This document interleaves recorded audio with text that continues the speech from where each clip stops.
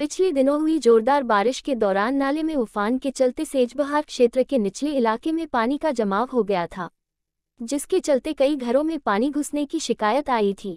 उक्त क्षेत्र का आज जिला सहकारी बैंक के अध्यक्ष पंकज शर्मा ने दौरा किया एवं लोगों से मिले साथ ही उनके द्वारा जेसीबी सहित अन्य उपकरण व कर्मचारी ले जाकर क्षेत्र में पानी भराव वाले स्थानों पर निकासी की व्यवस्था कराई गई। उन्होंने बताया कि नाले में अति प्रवाह की वजह से तथा अतिक्रमण के चलते ये स्थिति निर्मित हुई है। उनके द्वारा उक्त क्षेत्र में पहुंचकर लोगों को जहाँ खाने पीने का सामान उपलब्ध कराया गया, वहीं अधिकारियों को दिशा निर्देशित किया कि अवैध कब्जे वाली जगह को खाली करवाकर स्थिति को सही की जाए। कई घरों में पानी भर जाने की वजह से उनके रहने के लिए जगह नहीं बची थी। जिन्हें अन्य स्थानों पर ठहराया गया है, यदि सुचारू रूप से पानी का बहाव चलते रहता और अतिक्रमण जल बहाव वाले स्थान पर नहीं किया जाता तो ये स्थिति निर्मित नहीं होती का।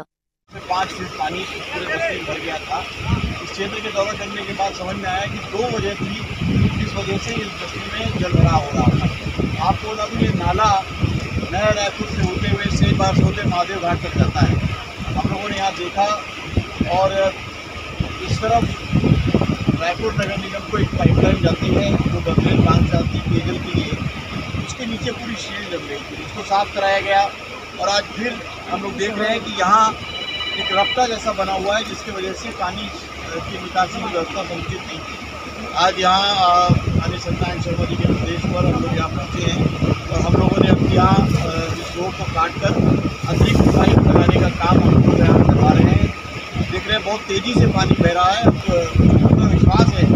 भविष्य में कभी भी हमारे सेलदार में जल भराव की समस्या उत्पन्न नहीं होगी। मैं हमारे यहाँ के आदरणीय विधायक सत्यनारायण को धन्यवाद देना चाहूँगा। हमारे सरपंच बघेन्द्र साहू, हमारे सरपंच भाई हुसैन जी, हमारे गोपाल जी, हमारे राधे भैया पवन जी, सारे लोग सुबह से इस कार्य में लगे हुए हैं। उन सबको बहुत धन्यवाद देना चाहूँगा।